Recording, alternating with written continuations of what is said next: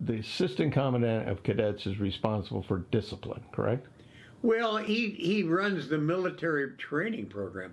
The commandant of cadets is responsible for it.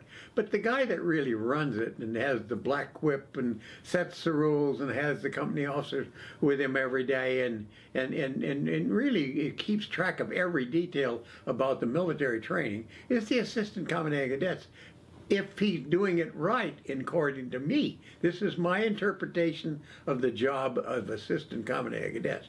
But you are the black whip. And there's no question about it. I mean, I put my own class people on report just like everybody else. And I told them, I said, you know, if I'm your class advisor, I will probably be tougher on you than I will the other classes. And they knew that.